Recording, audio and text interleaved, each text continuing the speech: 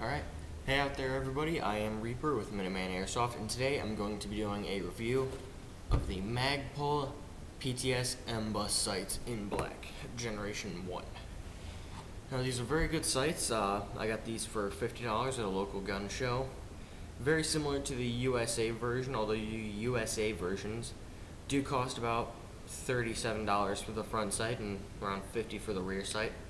But that's the normal markup price of the PTS ones again, so there's no real difference in them, uh, price-wise at least.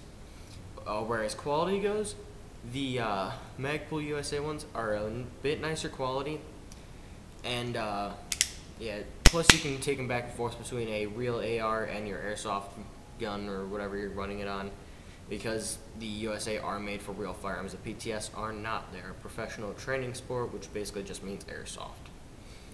Now, uh, so a lot of the features in these are going to be similar, so if you have both or are planning on buying the USA version, they're going to be, a lot of the features are going to be very similar to these, so just stay tuned if you're interested. Alright, uh, when you get them, really nice, a decent box like this gives it, gives it decent padding. It's a, just a cardboard box. Folds open from the front. There's two compartments, one for the front sight, one for the rear sight. Very basic. It does not come with a front sight adjustment tool like I had hoped or basically anything, it just comes with the two sights. But whatever, slide that down to the end. Alright, uh, the sights themselves are pretty nice quality. They're, again, made of Magpul's famous polymer. Very durable, very nice. Although they're not going to be heat uh, resistant like the uh, Magpul USA ones are. Note about the USA ones, if you have a front sight, do not mount it on the gas block of your AR. It will melt it. Um, Alright, so let's talk about the front sight. The front sight folds down. It has three positions of deployment. There's a small tab on this side here, grab my finger. There's one on the opposite side in the same position. And the entire top half of the sight and the, for the forward half of it can be used to deploy. You can just karate chop it up like that or however you want, just hit it with your thumb if that's faster and easier, but then uh, hitting it with your uh, thumb on the side. And just flip it up like that. Uh, now, this sight does come in three main pieces, basically. There's a mounting base down here, the deployment uh, paddle, or whatever you want to call it, and then the uh, sight aperture itself up here. There's just a simple spring inside that flips it up. Uh, I got these, I know I had to do it. Uh, you may have to do it too, because it's just factory uh, malfunction or whatever like that. Uh, sometimes there might be a little bit of excess plastic on the small uh, arms there that hold the sight in place in either position. Sometimes there's excess plastic and when it folds up or it folds down, may not want to seat all the way down. You can just easily take a, uh, knife or uh, exacto knife or anything, uh, like I use this uh, KA-BAR knife for it. Just scraped a little bit off the sides once I had it uh, taken off my gun. Uh, that fixed the problem right away. Also, there's probably going to be some excess plastic on the sides or on the side or just anywhere you might see it. I know I'm a bit OCD about that, so I had to clean it up, make it look real nice. Alright, uh, now some people might not care, so whatever about that. Uh, to mount these, it's very simple. Uh, these actually take an Allen uh, key, or an Allen wrench to unlock it, like this one. Uh, you just need to stick it in there, undo the screw, slide it onto the rail system. If you're mounting the front sight, usually you can get by by sliding down from the front and mounting it right in the edge of the rail system. That gives it the best look, in my opinion. Uh, you just tighten the screw down right there, it's going to be just fine. Uh, for the rear one, you might actually uh, get away with being able to mount it from the rear. If you pull the charging handle back, you can slide this down over the end of the back of the receiver and slide it on there and tighten it down. Uh, if that doesn't work, you may need to go from the front of the receiver. If you have a delta ring, if you have enough uh, room, you can get in there and you can slide it back.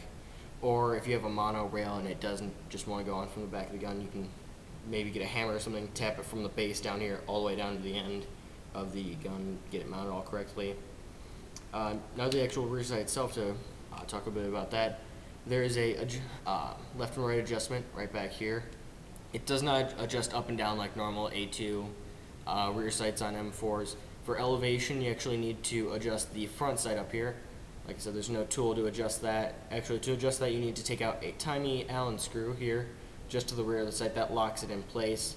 You take that out, and then uh, you need to be careful with this because uh, I tried using the Allen wrench, same thing, to get in between the two, get to get in between the grooves to rotate it up and down, and that just started uh, tearing away the plastic and uh, well, polymer a bit and started messing with it and started uh, denting it up a little bit and making it not look as good. So I just stopped trying and I just run Kentucky windage with it most of the time if my BBs are flying off course. Uh, with the uh, Magpul USA sights, you're going to get a front sight adjustment tool with that, and it's going to be much simpler. Or you can actually use a spent uh, 223 or 556 shell, crimp in one side of it, and use that to adjust it. That's what uh, that's part of the reason why Magpul did that, is so you could field adjust it for uh, soldiers in the military. Uh, but back to the rear sight. Again, three positions of deployment: one paddle on this side, the entire top surface, and a paddle on this seat on this side. Mounts the same with the same screw uh, adjusts left and right. Now on the PTS version, it's not going to be as nice of a definitive click as you might be used to from A2 sights. It's going to be a bit more soft, but uh, it's just going to adjust all the same. You just need to get it right for the windage of uh, whatever event you're at. Uh, there is two apertures on this. Now it may not look like it because uh, very clever design on Magpul's part. The two apertures fold up inside themselves, like this. You just fold it down, and then you have a large aperture. When the sight is folded up, this small cone here folds inside of the large aperture, making it smaller. Can see that there. It's very nice. It's a very cool feature about that. As you go between the sights very quickly for uh, what situa whatever situation you're in. And when they're folded down, it keeps a nice flush look when you fold them together. You don't have some uh, annoying peg sticking up or anything like that. Uh, folding them down is very easy. Minimal force required. Or, sorry, hold this down lower. Minimal force required fold them down, no problem. Fold down, they do stick up a bit, uh, half of an inch, uh, three quarters of an inch. Uh, now the Generation 2 version of these, uh, whether they be the PTS or the USA version, they're going to sit only a half inch above this, and it's going to be uh, a bit lower down for if you're running optics and you have, uh, say, a magnifier folded over top of this, or something like that on your red dot or whatever sight you're running. It won't get in the way as much, and it'll just look a lot nicer. All in all, these are great sights. I give the PTS versions a just a four out of five. Uh, I give the USA versions a five out of five because they're uh, much nicer quality, very durable, very nice. You're not gonna have to do the cleaning up the edges like that. It's gonna be less likely for that to happen. Uh, these sights do come in four different colors, or five different colors, depending on the website you go to. I know LaRue has a fifth color, which I haven't found anywhere else. Uh, but you can get these in black, OD, foliage green, uh, flat dark earth, and urban dark earth, which is more of a flat gray style color. That is only available on LaRueTactical.com. Uh, again, I got these at a local gun show for $50. Uh, I recommend checking out uh, any local gun shows or anything like that because you can usually haggle, get prices lower down, and you don't have to wait for shipping or anything. Although, if it is going to cost you more at the gun show, just go with online. Go with whatever the better deal is going to be.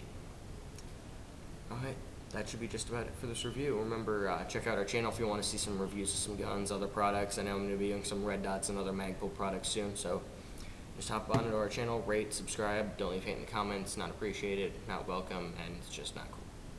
Thanks for watching.